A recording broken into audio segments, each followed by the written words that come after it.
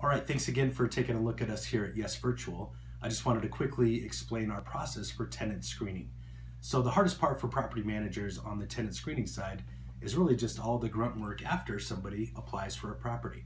You've got to chase down their IDs, call previous landlords, verify income, uh, get copies of pay stubs, all of that stuff. We all know that tenants can be hard to track down. Sometimes it takes several phone calls, emails, all of that to put the file together. So we take that part away from it for you.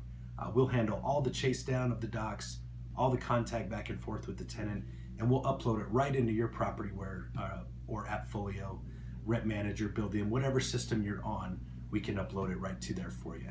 Um, so uh, for the price listed on our website, currently $15, we do all that chasing for you and take that pain away. If you want more info, take a look at our tenant screening services on our website or contact us, contact us directly. We are at yesvirtual.com.